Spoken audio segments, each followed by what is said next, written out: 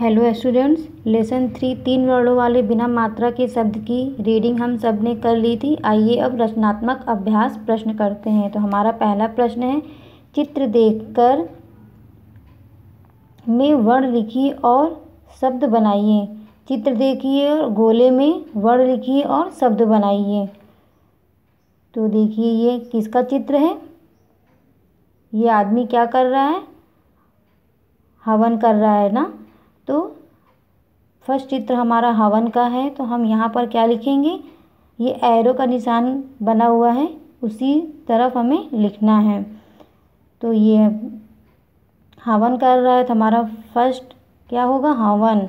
तो यहाँ क्या लिखेंगे हम लोग? हा, वा, ना। यहाँ देखिए ना, पहले से लिखा हुआ है तो हमारा क्या बन जाएगा? हा, व, न, हवन। नेक्स्ट सेकंड चित्र देखिए हमारा क्या है ये? हम सबने पढ़ा था इसे, ये किसका चित्र है? नमक। तो यहाँ क्या लिखना है? ना यहाँ देखिए लिखा हुआ ऑलरेडी अब हमें एरो देखिए नीचे की तरफ़ आया हुआ है तो हमें नीचे की तरफ़ लिखना है। ना, मा, क, नमक। थर्ड चित्र देखिए किसका है हमारा? कलम का चित्र है। सब पहचान रहे होंगे? ये कलम, देखिए इसे इस तरह एरो से इंडिकेट किया गया है तो हमें इधर से लिखना है। का, ला, म, कलम।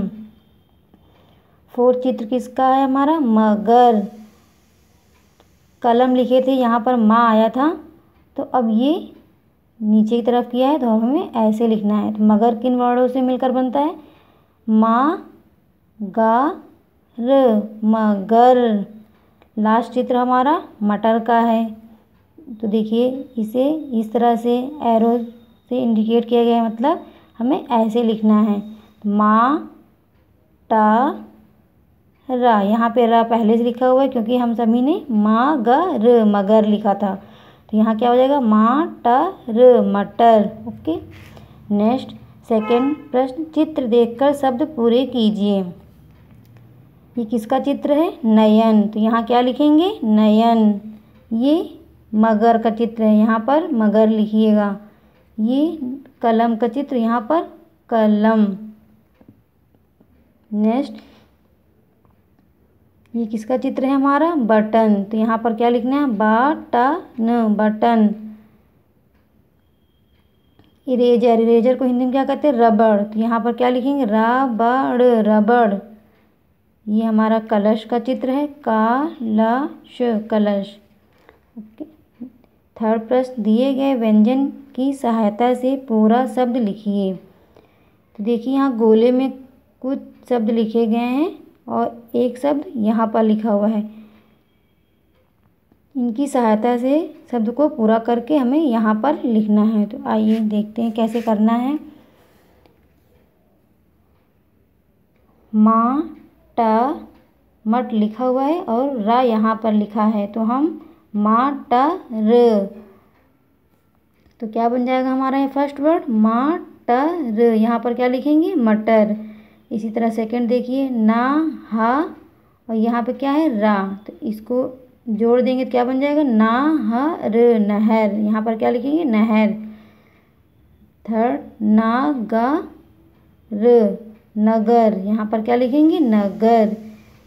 मैंने आपको ये बता दिया है फ़र्स्ट करके कैसे करना है? सेकंड वाला आप लोग अपने आप से कीजिएगा। Next page number twenty seven पर देखिए।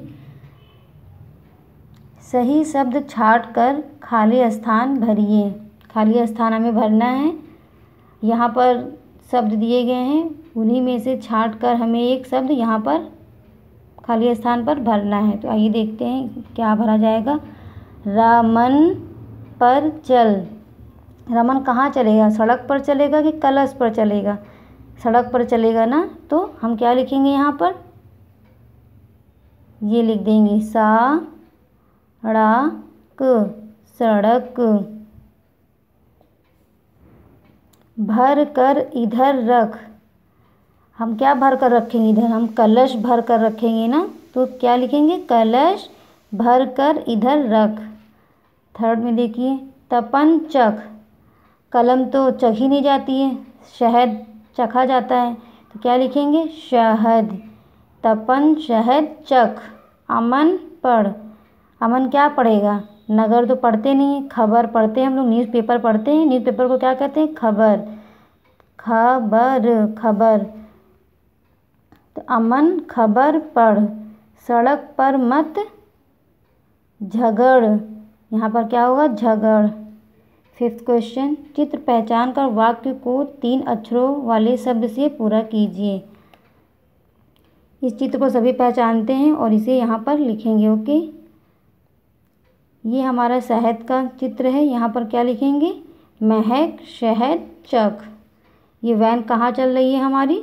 सड़क पर चल रही है। तो यहाँ पर क्या लिखेंगे? सड़क। ये किसका चित्र है? भवन। यहाँ पर क्या लिखेंगे? भवन। का, खा, गा। क्या है? हमारे अक्षर हैं। इसलिए यहाँ पर क्या लिखेंगे? यस, अक्षर पढ़। अजय, क्या दे रहा है अपने फ्रेंड को? कलम दे रहा है। तो क्या कह रहा है उससे? अजय, कलम पकड़।